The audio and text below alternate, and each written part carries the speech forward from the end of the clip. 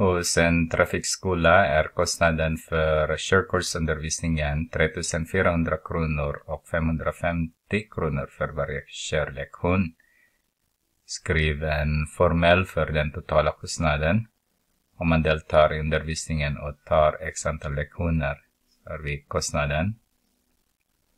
I x antal lektioner så har vi fasta kostnaden 3400 därmed den rörliga kostnaden 550 varje körlektion. På B.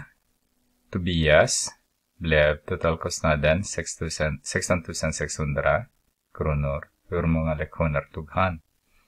Då har vi 16 600 är lika med 3400 är därmed 550 x. Ni kan byta också om ni vill. Ni kan skriva så här.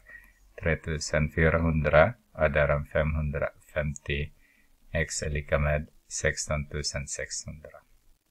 Vår hjärna kan uppfatta bättre på det sättet.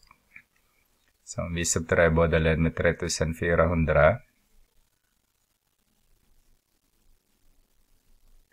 så får vi 550x.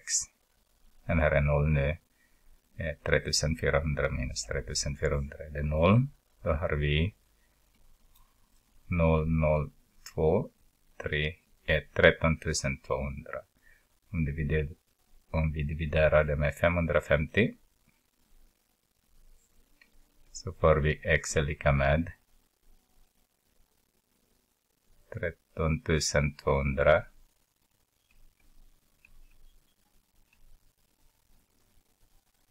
där med 550.